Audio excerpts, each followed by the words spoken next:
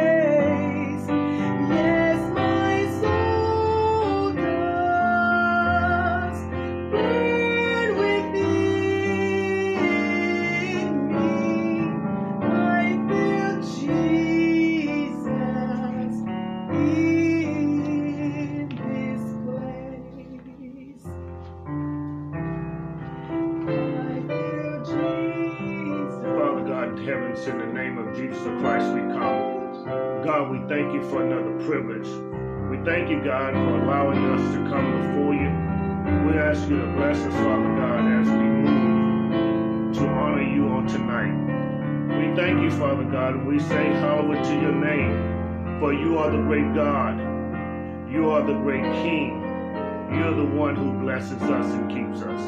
And for that, Lord, we are thankful and we are grateful. Lord, we ask you to forgive us for our sins. Bless our lives, Father God, that we will hear from you on tonight. Bless us, Father God, that we will be about your business to do your will. We pray, Father God, that your words speak to us. We pray that the transmission goes well. We pray, Father God, that men, women, boys, and girls will be touched by your word that your word will reside in their heart and they will be made the better. And Lord, we ask you to keep the glory, all the honor and all the praise. Allow us to be beneficiaries of your many blessings. It's in the strong, mighty, powerful, anointed name of Jesus Christ we pray. Amen. And thank God.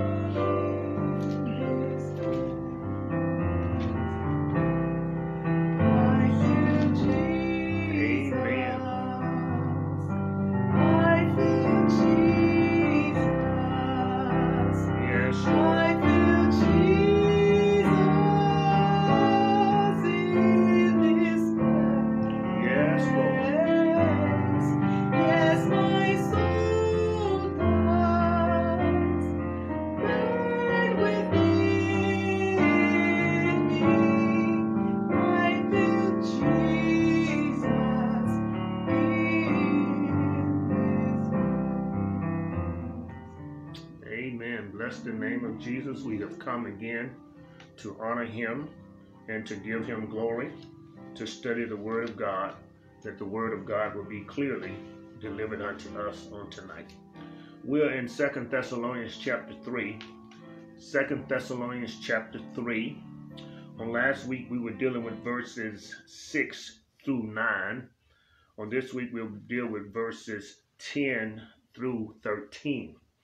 I feel real obligated to go back and review as our transmission was not that great on last week. So let's go back and look at verse number 1 up to verse number 13 on tonight. So we'll be looking at Second Thessalonians chapter 3, verses 1 through 13. Our focus tonight is verse 10, uh, is verse 10 through through 13.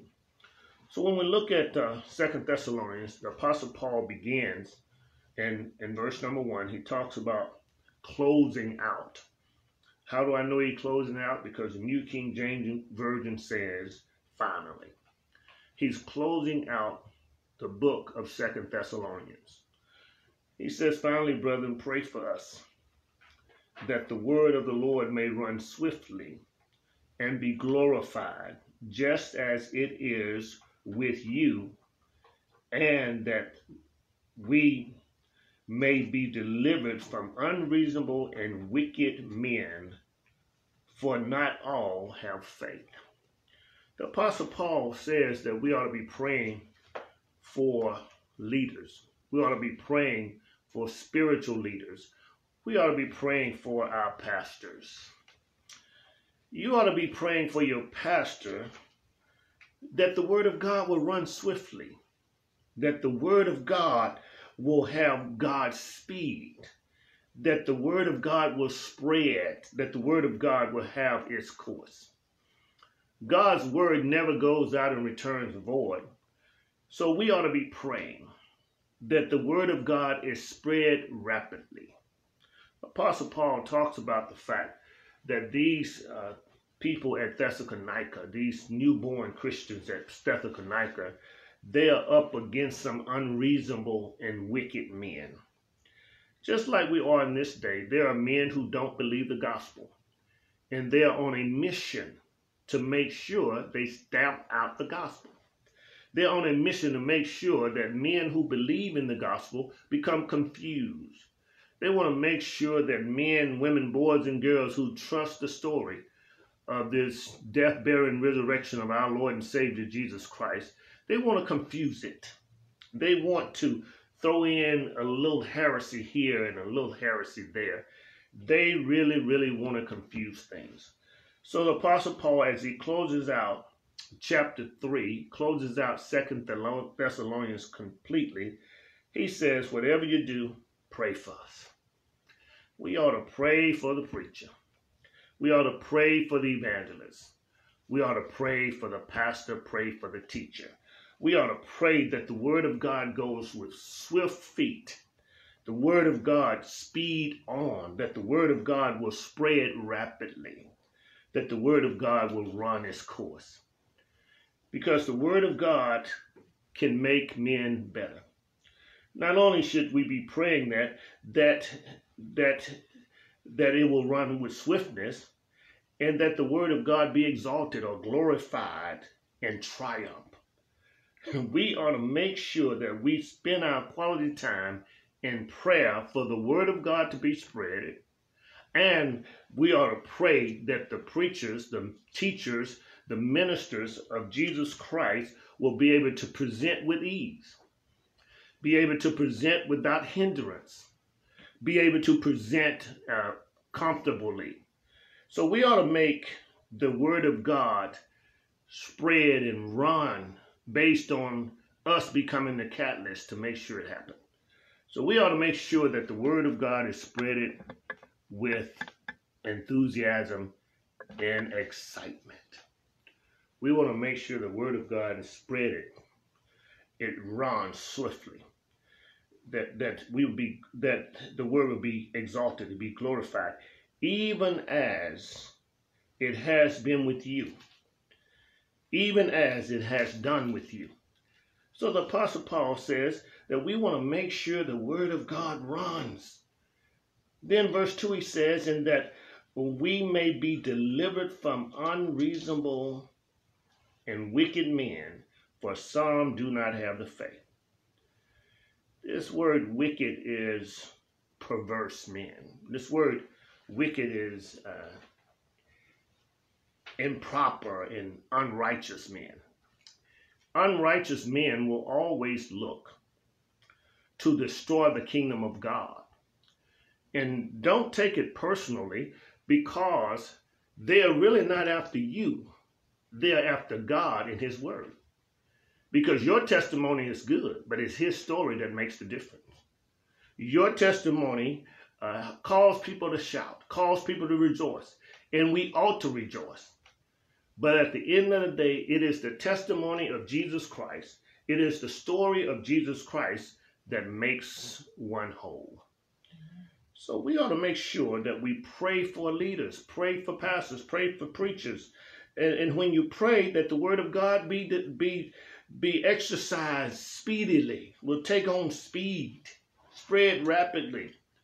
And then he says that we will be delivered from ungodly, wicked. Word wicked is malicious men. This word wicked is evil and harmful men. Some translation put it this way that we will be delivered from the evil one, the devil, Satan, Lucifer, the accuser of the brethren. We ought to pray that the, the word of God runs with swiftness. We ought to pray that we be delivered, that, that the kingdom be delivered from the wicked one, the evil one. Verse number three, he says, But the Lord is faithful the Lord is faithful who will establish you and guard you from the evil one. The Lord is faithful. He is faithful, meaning that God is trustworthy. If you cannot trust your friends, you can't trust your neighbors, you can't trust your family members, can't trust your associates, you can trust God.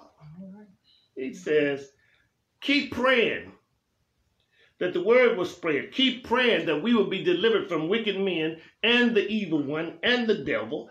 And just remember, verse number three, he says, Remember, regardless of what they do, but the Lord is faithful. The Lord is trustworthy. The Lord, the Lord, the, the supreme God, the one in authority, he is. He is faithful. He says he's so faithful until he will establish you. The word establish means he will strengthen you and he will confirm you. The word of God helps us to be stabilized. God himself establishes us. He strengthens us. He confirms us. He confirms us in the middle of our enemies. That's why the psalmist said, He prepared the table before you in the presence of your enemies. So keep going, keep moving, keep striving, keep praying, keep supporting and exalting each other because God is faithful. The Lord is faithful. He's trustworthy to deliver you from the evil one. Verse number four, he says, says to us, and we have confidence. And we, us, those of us who are believers, we have confidence in the Lord concerning you. Paul says, we as ministers, we as preachers, we have confidence. We have confidence in the Lord concerning you, both that you do and will do the things we commanded you. In other words, we've already given you the, the ingredients, we've already given you the stuff to put into it to make it right. And he's saying, we got confidence. We got confidence in the Lord. That's why you hear people say, don't trust me, but trust the Lord in me. Because if the Lord is in you and the Lord is at the helm, the Lord is taking full control, then you can trust the Lord. And we got confidence in the Lord that you will continue to do what you've been doing and that you are doing it right now. Uh, he says that we have confidence in you concerning the Lord that you are doing and you will continue to do the things which are which we have commanded you and which we have charged you. So you got to continue to do this thing. Every day of our lives as Christians, we must wake up every day with our mind stayed on Jesus and our attitude turned toward Jesus, that we will make sure that the Word of God runs swiftly. And, and God has placed His confidence in us that we will maintain our eyes on Him. And because God has placed confidence in us, the preachers and the teachers and the leaders have placed confidence in us, we ought to keep doing the great things that the Word of God has asked us and continue to require us to do. He says, Now, verse 5 Now may the Lord direct your hearts into the love of God and into the patience of Christ. Second Thessalonians chapter 3, verse number 5. He says, May the Lord direct your hearts into. In other words, the Lord reveals to you. The Lord helps you to realize that, and the Lord shows you things that you normally wouldn't see. This word direct means to guide. May the Lord guide you, guide you. May the Lord guide your hearts. Your hearts here means your spirit, your, your mind. May the Lord guide you. May the Lord show you.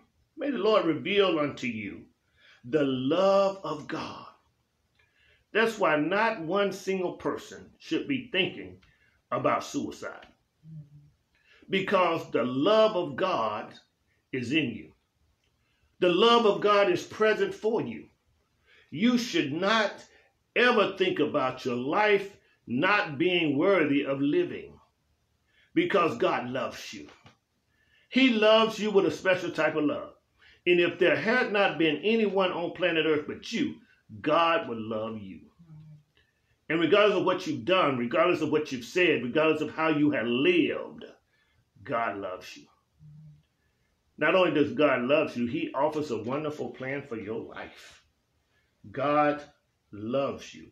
So may God show you and reveal unto you, so you can realize the love of God.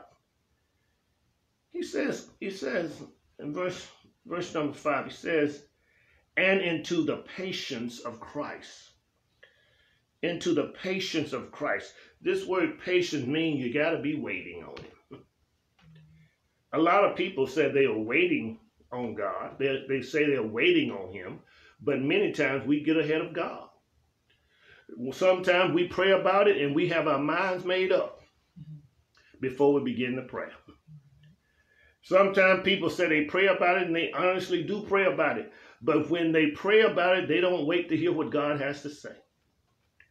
I'm saying to you today, my dears, whatever you do, spend quality time with God so he can reveal unto you by way of his Holy Spirit. He can reveal unto you by way of his word. That's why it's so important for us to stay in his word.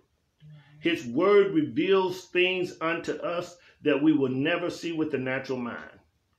He says that that the God in his patience into he will he will take you into the patience of Jesus Christ. Be steadfast. Steadfastness and the patience of Christ Jesus. This word Christ means the anointed one, the Messiah himself.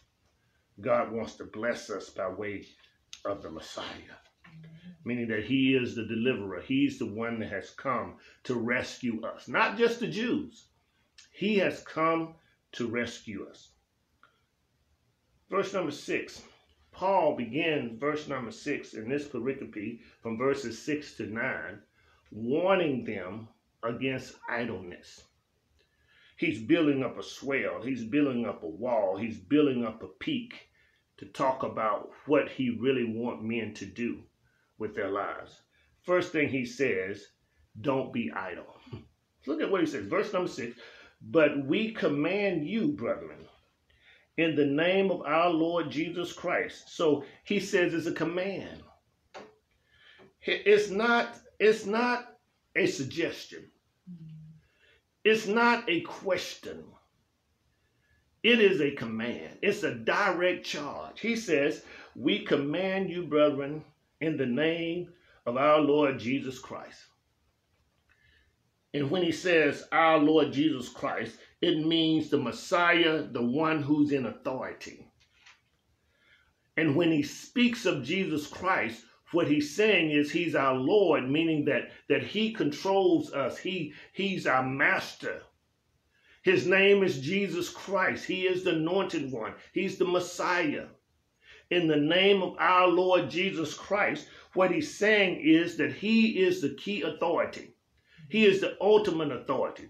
He's saying to us, we command you in the name of the ultimate authority, Jesus Christ. He says, withdraw from every brother who walks disorderly and not according to the traditions which he received from us. Verse number six says, you ought to withdraw from them. Verse number six declares that we ought to we ought to separate ourselves from, from them. In other words, if a brother is a believer, if a brother is a follower of Christ, you ought to uh, withdraw from him, meaning if he's slack, if he is one who's living a lazy life, if he is one who is idle, it says withdraw from him. In other words, the one who's not doing or not performing his, his or her duties. Now, in the 21st century church, we don't do that. If a person is not performing his or her duty, we just let them stay there.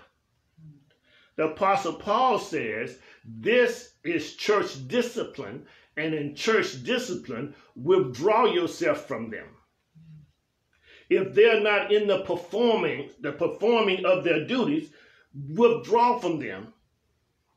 If they are disorderly, meaning if they are not following the traditions by which we've given you, and this word tradition here is not tradition as we see it today. This word tradition is the ordinances, the laws, the, the instructions that we have given you. If they don't follow those instructions, withdraw yourself from them. Boy, there will be a lot of empty churches if we live like this. There will be a lot of churches that don't have bodies in places.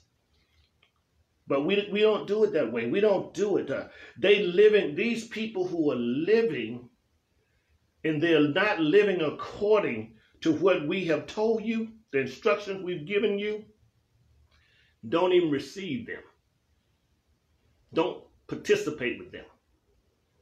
These are believers, believers who know what is right, and they keep doing what is wrong.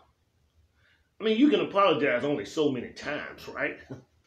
I mean, but if you keep doing the same thing over and over again, the Bible says withdraw from them. The Bible says that they they they are not carrying the same doctrine. If they are disorderly, if they are not living according to the, the instructions that we've given you, withdraw from them. I think the songwriter was right when he says one bad apple spoils the whole bunch. Yeah. one bad apple spoils the whole bunch. In other words, we have to get to a point in our lives where we realize that God's instruction is more important than our friendship. See, in church, we are concerned about friendship. We are concerned about what our friends think and what our associates think. We are concerned about what our neighbors think. We need to be more concerned about the instructions, the traditions that God delivers unto us. Verse number seven For you yourself know how you ought to follow us. Now, these are men talking to other men. And these men, Paul, Silas, they are talking, Timothy, they are talking to other men. And they are telling other men that you already know how you ought to follow us. Look at what he says. He says, You ought to follow us. These are normal, everyday men, but they've been anointed by God. And they're saying, You all ought to follow us. God deliver me from so many people these days that always talk about, I don't have to follow him. He's a man just like I am. He put on his breeches the same way I do, one leg at a time. That's ignorance. That's ungodliness. Paul says, follow us. You already know. You already know how you ought to follow us. For we were not disorderly. So Paul says, not only should you follow us because we are men of God, you follow us because we are following the doctrine of Jesus Christ. This word disorderly comes up again. He says, We were not disorderly among you. Verse 8, nor did we eat anyone else's bread free of charge, but worked with, with labor and toil night and day, that we might not be a burden to any of you, not because we did not have authority but to do but to make ourselves an example of how you should follow us. Look at what Paul says. Paul says, you already know how you should follow us. Yes, you should follow us according to the, the instructions we've given you. And yes, we are normal men. We are men just like you are. But we have given you instructions. I command you, I charge you to follow these instructions by which we've given you because, number one, we were not disorderly men among you. In other words, we practice what we preached. God, God is watching, and God wants us to practice what we preach. The Apostle Paul says, We practice what we preached in your presence. Whatever we told you to do, we were willing to do it. Then he goes on to say, nor did we eat anyone else's bread free of charge. In other words, we paid for what we got. We all know that it is the church responsibility. If you don't know, let me tell you, it is the church responsibility to take care of the man of God and his family. It is the church's responsibility to take care of the man of God and his family I'm not talking about a man that's that's that's greedy for filthy lucre. I'm talking about it is the church responsibility to take care of the man that delivers the word of God. It is the church responsibility. So here Paul says, even though we had the right to request and to require that you take care of us, we ate bread that we paid for. He said we didn't even ask anything for free. He says, look at what he says. In verse number eight, nor did we eat anyone's bread free of charge. Y'all remember those days when they used to take the preacher? It's called take the preacher. It's called invite the preacher over after church service, after the pastoral service. So it, it was a pastoral Sunday, meaning that that's the Sunday we went to church and the pastor came to town. Because in the country, sometimes the pastor was the first Sunday pastor, and then another church he was the first, second Sunday pastor, another church the third and fourth Sunday pastor. So on Pastoral Sunday, some of the sisters and the brothers would invite the preacher to their house, and he showed up like clockwork. And they fed him. They took care of him. We don't do that anymore. And it's okay. But we ought to take care of him, what he needs. We ought to give to him, and he should not have to ask for it. we should not, he should not have to ask for you to take care of him. But here Paul says, he says, and I'm going to show it to you, he says, we didn't ask for anybody's bread for free. We did not get it free of charge. And then he says, but we worked, we labored, we toiled night and day. The Apostle Paul was a tent maker. And by him making a tent, he he kind of subsidized subsidized his his um his income. So he he said we labored night and day. He in other words, we were willing to, to labor all day and all night. In other words, we were able to work the night shift and we were willing to work the night shift. The Apostle Paul said we worked the night shift. And when we work the night shift, we work the night shift so that we can pay for our own stuff. And let me just, just give you a tidbit here. A lot of people quote this scripture. I can do all things through Christ who strengthens me. And they think it applies to every single thing in their lives. Let me just share with you. I used to play right field. I used to be able to run a ball down. At the crack of the bat, I could see it. I'd take one step back, and then I just take off like a jet. If we are interpreting scripture properly, I ought to be able to run it down today. But let me tell you, there's some young guys on the scene. And they can run the whole base zone. They can make it from first to home and from home back to home before I run the ball down now. If the, if the interpretation, I can do all things through Christ who strengthened me, if that was true, the way some of us interpret it, then I'll be able to catch that same ball, run that same ball down right today, and I just can't do it. Does that mean that I'm, I'm not walking with the Lord? No. I'm living in a tent. Paul made a tent, right? Paul was a tent maker, and he, he characterized this body we in as a tent. And because I'm living in a tent, my tent is leaking. Mm-hmm. He used to sing a song back home that said, If this old building keep on leaking, I'm going to move to another home. There's stuff that hurts. There's stuff that limits. So what Paul is saying in the book of Philippians, where he says, I can do all things through Christ who strengthened me, the conversation is built around the churches giving him financial donation for his preaching.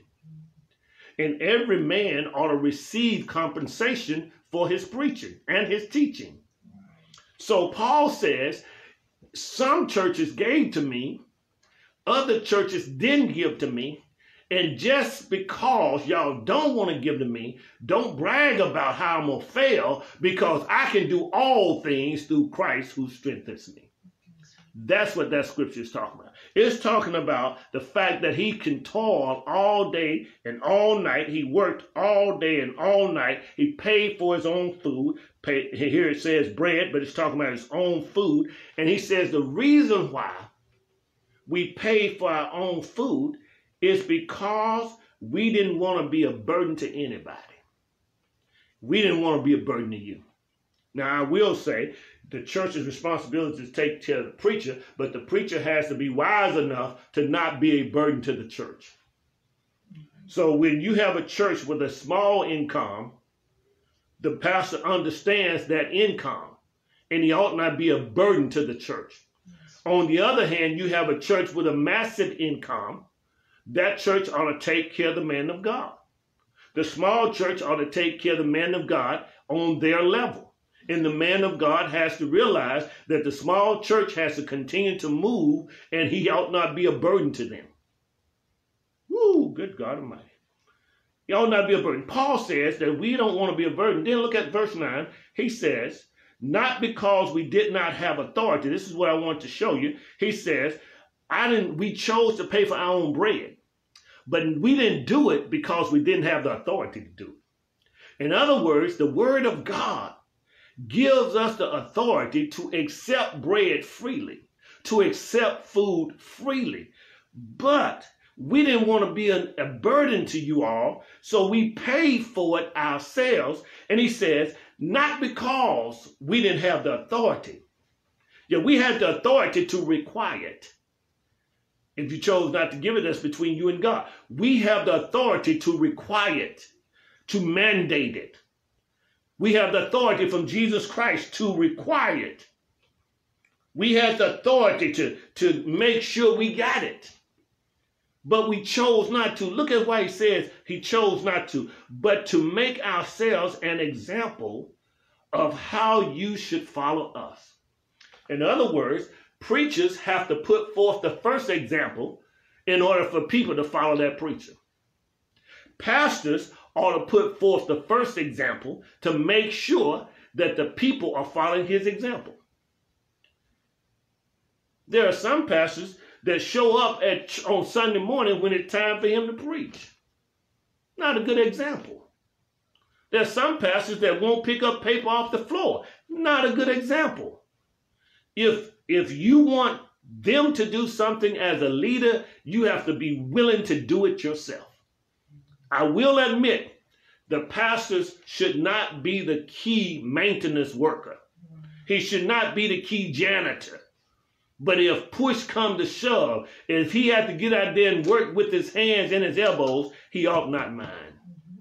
Apostle Paul says we work day and night. It, didn't matter. In other words, we work graveyards, we work day shifts. And we did it for an example to you. In other words, we set an example before you, and you need to just follow that example. We set an example before you. Every man of God, every leader, every teacher, every person that's born of the Spirit, every Christian ought to set an example for other people to follow. And the only way you set that example is that you do it first. You set an example first. You make sure you set the example. And when you set the example as a leader, then you can require others to follow. If you don't set an example as a leader, you can't require anybody else to follow. God, God, God, keep me the type of leader that will set an example for others to follow. Because a leader that's leading and no one following, he's just taking a walk. I don't ever just want to take a walk as a leader. Now we have verse number 10. And I wanted to save this verse till tonight rather than go into it last week because it's a common verse, but we need to unpack it well. Verse number 10, 2 Thessalonians chapter 3, verse number 10. For even when we were with you, the Apostle Paul says, we've been there with you now. And when we were with you, we commanded you this. Paul says, he's setting them up. He says, We were with you before. And when we were with you, we gave you a command. Here it is again. It's not a suggestion. It's, it's not, it's not him asking.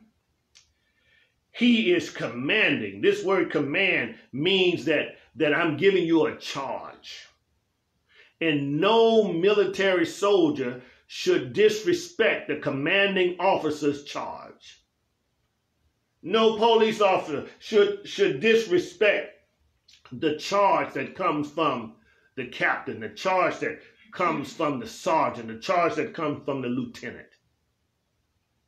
Paul says, I charge you. He says, says to us, when we were with you, we told you this. When we're with you, we commanded you this. And here it is.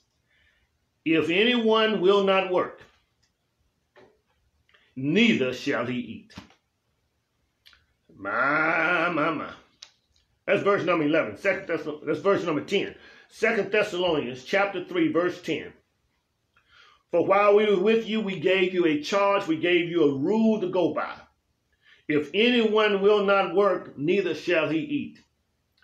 This is Paul putting together the church discipline and, re- and telling them to make sure that men don't be caught idle. Big Mama said it like this an idle mind is the devil's workshop. You should not be caught idle. He says, if a man will not work, okay, sisters, back up. Let me just make it clear to you. It didn't say if the brother got laid off, it didn't even say if the brother got fired. But it does say if he will not work, if he just refused to work, he ought not eat. But let me let me help you understand what I feel about it in the way I interpret it. If a man doesn't work, he ought to starve to death.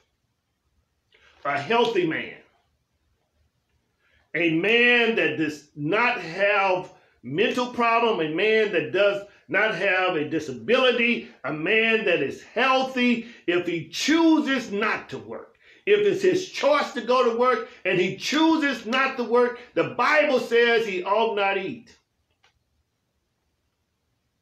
And if he doesn't eat, guess what he does? He withers up and he dies. The Bible says if a man doesn't work, if a man refuses to work, if a man refuses to get up and go to work, he should not eat. The problem here today is that we have too many working women and not enough working men. I mean, we got working women in the house, in the same house, and not enough working men. Now, let me back up again. Let me just say to you, I'm not talking about retired brothers. They paid their dues. I'm not talking about brothers that got an income coming in. They, they made a way to make that happen. They worked all their lives so they could get to this point, whether, whether they want to sleep, whether they want to travel, whether they want to spend time with their loved ones. The bottom line is if there's a dude, if there's a joker that just refuses to get a job, he ought not eat. In other words, they shouldn't feed him. His family members shouldn't feed him. And the church shouldn't feed him. That's what Paul says. The church ought not feed him. He says if it doesn't work, don't eat. It's simple. Did you work today? No, we can't eat today. Why didn't you work? Couldn't find a job. Well, let me just tell you, Amazon got about 15,000 available right now. U.S. Postal Service got thousands upon thousands of jobs available right now. And there are jobs where you don't even have to have an education and they pay you $20 an hour. The Bible says if a man refuses to work, he ought not eat. We got these young guys out here robbing people. They need to get a job. Get a job, make a decent living, and don't jeopardize your life and your livelihood trying to rob somebody else because you're going to run up on somebody one day that's ready for a robber. the Bible says right here in the text, uh, Second Thessalonians chapter 3, verse 10 says, if a man doesn't work, he ought not eat. In other words, if a man doesn't work, he ought to die. If a man doesn't work, he ought to wither up and drop dead. Because if you don't eat, you die. Verse number 11. For we hear that there are some who walk among you in a disorderly manner, not working at all, but are busybodies. Paul says, Paul says, we, we got word. Hmm. Paul says, we hear that there are some among you that won't work at all. There are some among you that, that refusing to work. And he labeled them as disorderly, ungodly, unrighteous men. And they're ungodly in this manner. But they are busybody. They are busy bodies. In other words, these men, they're passing their lives in idleness. They're neglectful of their duties. And I just like to say to men, you're not a man. Jesse Jackson had it right. Reverend Jesse Jackson had it right. You're not a man when you can make a baby. You're a man when you can provide for a baby and protect the baby. That's when you are a man. It says in the book, in the text, in the Bible, he says, don't deal with men who are passing their lives up in idleness men who are spending their time spinning their wheel, those who neglect their duties. Because they're being busybodies. This word busybody. This word busybody means that they are all off in other folk affairs instead of doing work on their own. You, you've seen it. You've seen it, don't you? You have, haven't you seen it? There's one boy. When I was growing up, there was we were working at Burger King. That's when Burger King had the big old brown and yellow and blue and black stripes. Big old, you can see a Burger King employee from a mile off. I was walking the streets of Jackson, Mississippi, up and down the hills to get to Burger King. And as I passed by my friends on the way to Burger King, they would be sitting on the side of the curb. Man, don't go to work today. You don't have to go today, do you? Don't go to work today. You can hang out with us one day, can't you? is men who are following idleness, men who are caught up in neglecting their duties, just sitting under the tree, sitting on the curb, doing nothing. Paul says, remove yourself from them. If they don't work, don't feed them. If they don't work, don't eat. If you don't work, you don't eat. If you don't work, you die. The Apostle Paul says there are men among you. We've heard it. There are men among you who are just busybody. And these guys that sit on the curb as I was walking by with my ugly Burger King uniform on, they were always in my business. I don't know about them, but I was going to school after the summer was over. And I had to buy school clothes. So I worked Burger King, got off at 2 o'clock in the morning, was glad about it. Didn't have a problem with it. but if it don't work, I'll not eat. If you're able to work, you ought to go to work. Or spend time. Because you will find yourself as busybodies caught up in other people's affairs. Verse number 12, 2 Thessalonians chapter 3, verse 12. Now those who are such we command and exhort through our Lord Jesus Christ that they work in quietness and eat their own bread. Those who refuse to work, we telling you to shut your mouth. work in quietness. Work in a peaceful way and eat your own food. Make sure you take care of your own necessities. God deliver me from grown women, grown men, healthy young people that sit up on their parents and won't get their own job. Apostle Paul says, withdraw from them. Let them go. Stop arguing with them. They ought to be grown, gone, on their own, with their own home, paying their own bills. Hallelujah. It says, withdraw yourself from them. I mean, these people who are sound mind, who are a healthy body, and they just refuse to work. And they always, and everybody else is a fast. Verse 12 says, He charged you and exhort, you. He says, As ministers, we are telling you and we are we are admonishing you. Those of you who won't work, we're telling you, whatever you do, go and work. Buy your own food Buy your own necessities. Buy whatever you want and work quietly. Be quiet. Stop meddling in other people's business. Says whatever you do, get your job. I mean, jobs are there are jobs that are plentiful now. You know, people saying that, well, they ain't paying what I want to pay. Well, what you making now? It's not what I want to do. Well, what you doing now? Well, I got a dream. I said to a young man the other day, he, he said, I, I got a dream. Well, what's your dream? I want to be my own, I'm going to be my own entrepreneur. I'm going to be the boss. I said, yeah, but you got to make some money in order to get something so you can have something to boss. If you don't make money on somebody's job, you will never be a boss because you're going to be sitting here 10 years from now with a dream. What you do is you work hard on your present job or the job you're going to get after tonight. You work hard on your job. You save your money. You put it aside so you can pursue your dream. You don't just pursue a dream because all you have is a dream. You need money to make your dream come true. and you need to pay your own way as you go. Even though you're pursuing your dream, you ought to be able to pay your way to pursue your dream.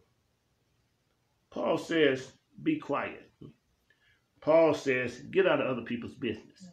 Paul says, get you some business. The songwriter says, been six months to mind your own business and six months to leave somebody else's business alone. Finally, verse number 13, and I quit for tonight. But as for you, brethren, do not grow weary in doing good. Apostle Paul says, As for you, brothers, do not lose heart. This word grow weary, this phrase grow weary. Do not become weary. Do not lose heart in doing what is right. Keep doing what is right. But continue to do well. Continue in your well doing without weakening. He says, don't grow weary, don't get weak. Apostle Paul says you, you work and you feed yourself and you work and you chase your dream. And when you work and chase your dream, you got you don't have time to get in other people's business. He says, whatever you do, take six months that's how I interpret that. Take six months to mind your own business and six months to leave everybody else's business alone. Do not be busybodies. Man doesn't work, man shouldn't eat. Man doesn't apply himself, withdraw from it. A man doesn't follow the, the gospel of Jesus Christ, withdraw from it. If a man doesn't follow the principles that we have given you and we've taught you over the years, remove yourself from his presence. One bad apple spoils a whole bunch. Yeah. So I leave you tonight to remind you that even the church has to have some discipline. Even the church has to have guidelines. Apostle Paul says, 2 Thessalonians chapter 3, verse number 10, I command you to work. If you don't work, if you refuse to work, you shouldn't eat. Apostle Paul says he's heard of many of you have walked this way. Many of you are living your lives like this. He said he's heard about it. And then he says, whatever you do, command them and exhort them to get a job. I want to make sure it's clear before we leave the air tonight. When it says if a man doesn't work, he ought not eat, it's not talking about the brother who's disabled and can't do it. It's not talking about the brother or the sister who got laid off and can't find a job yet, but they're on their way. It's not talking about the person who even got fired and, and they are rapidly looking for a job.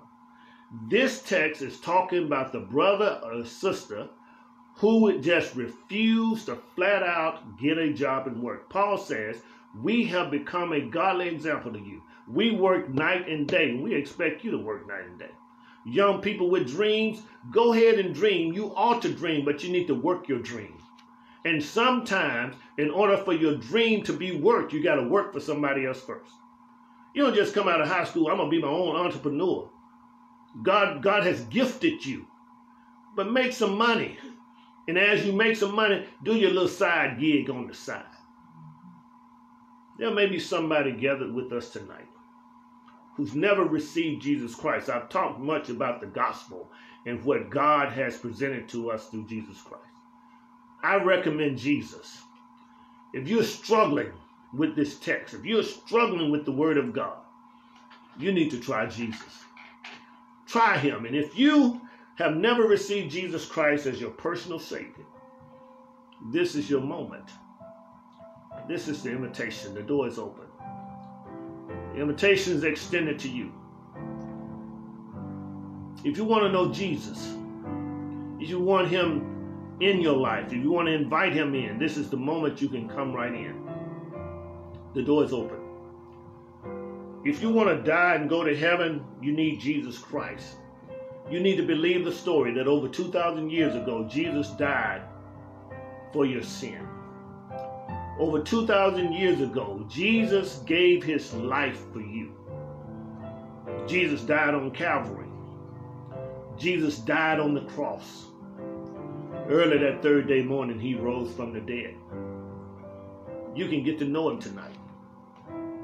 If you would just repeat after me, just bow your head and invite him in. And you can be saved right here, right now.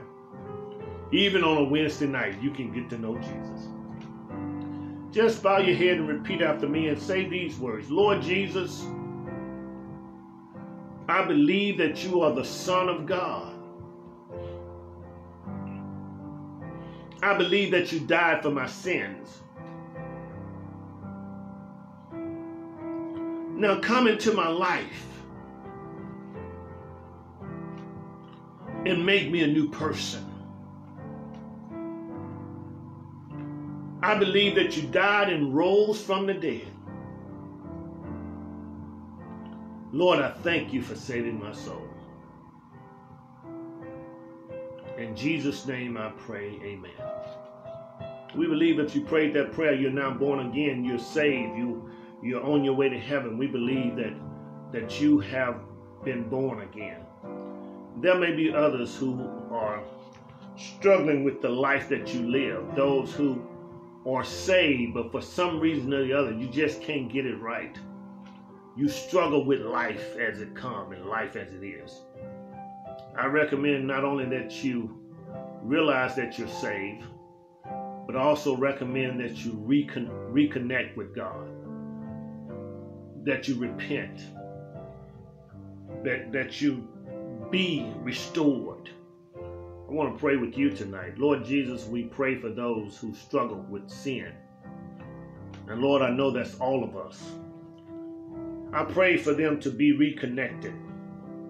I pray for repentance. I pray, Father God, that you deliver them from being captivated by sin. Pray that you bless us all now, that we will focus on you and Jesus alone. Make us sensitive to the movement of your Holy Spirit and the speaking of your Holy Spirit, that we will obey Him and not our personal agendas. We thank you now in Jesus' name. Amen and thank God. There may be others who have gone off and left your church home, or you're in between church homes, or you don't have a church home. I recommend the New Beginning Church, where Jesus is the center of attention and the main attraction. I recommend the New Beginning Church that, that you can come and fellowship with us. You can fellowship globally or you can fellowship locally here in the Southeast Houston area. If you want to be a member of New Beginning Church, inbox me and let me know you want to be a member. Be glad to have you. And if you received Christ tonight or rededicated your life tonight, inbox me and let me know. Sure would like to rejoice with you and praise God for you. Again, thank you tonight for joining us in our Bible study. Thank you for being a part. Please meet us here every Wednesday night at 7:15 p.m. At 7:15 p.m. Meet us every Wednesday night. And on Sunday morning, you can meet us at 9 a.m.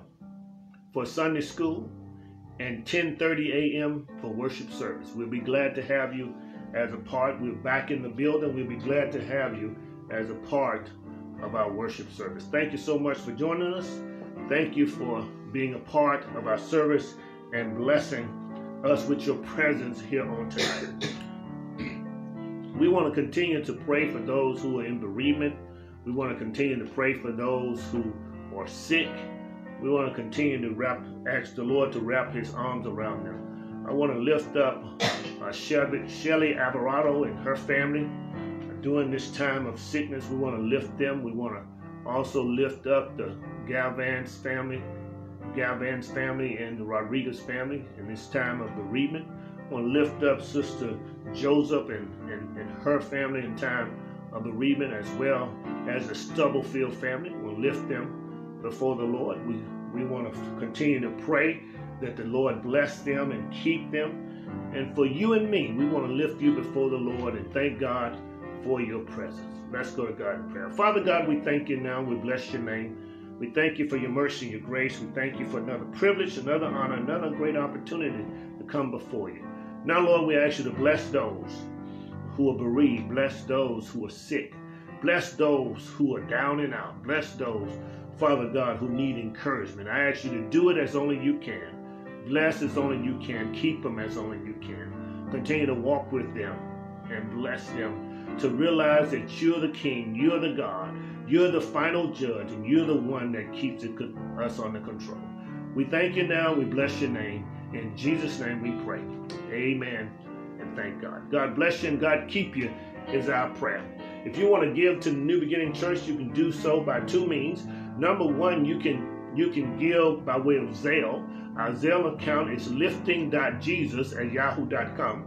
Lifting.jesus at yahoo.com. Lifting.jesus at yahoo.com. The idea is as we lift up Jesus, he draws all men unto himself. And then you can mail your offering, your your gift. You can mail your tithes into P.O. Box 503, Missouri City, Texas 77459. P.O. Box 503, Missouri City, Texas 77459. Thank you so much. God bless you and God keep you is our prayer. We at the New Beginning Church, we are uniting the church, strengthening families, supporting schools, and empowering neighborhoods to impact the world as we are reaching souls by lifting Jesus. Jesus says, In I, if I be lifted up, I will draw all men unto me. John 12 and 32. God bless you and God keep you.